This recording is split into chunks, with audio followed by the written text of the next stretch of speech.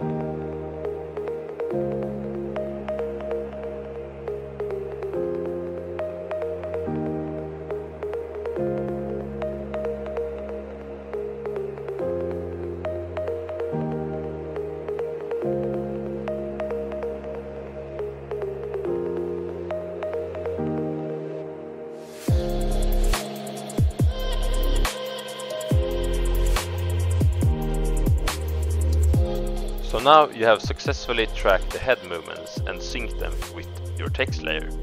If you want to change the position of the text, make sure to change it on the null layer and not on the text layer itself.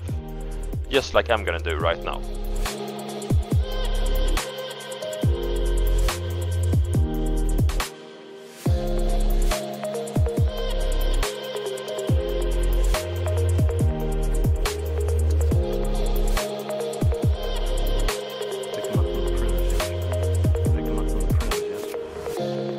And there you go. I hope you enjoyed this video and if you did and found it useful, it would mean a lot if you could leave a like and drop a follow to stay tuned for more tutorials in the future. If you have any questions regarding editing or After Effects, please leave it down below in the comment section and I'll try my best to do a tutorial on it. Thank you for watching, see you around.